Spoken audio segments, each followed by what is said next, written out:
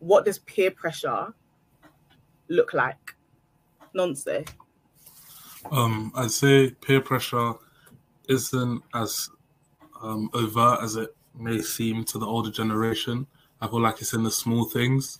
It will be in things like if you're in a conversation and even if the way you're thinking, like if you kind of stand outside the box and have a different viewpoint, like you're kind of of weirdly, or it's it's not a big thing of oh why do you think different? Like you may not be called out on it, but the vibe might just change and you realize oh okay, and then you kind of either back down and you just agree with everyone else or you stand by your point.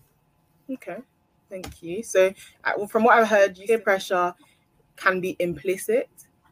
It's not always explicit. Um, it can be covert. It's not always overt. Yeah. Okay. Thank you, Bolu.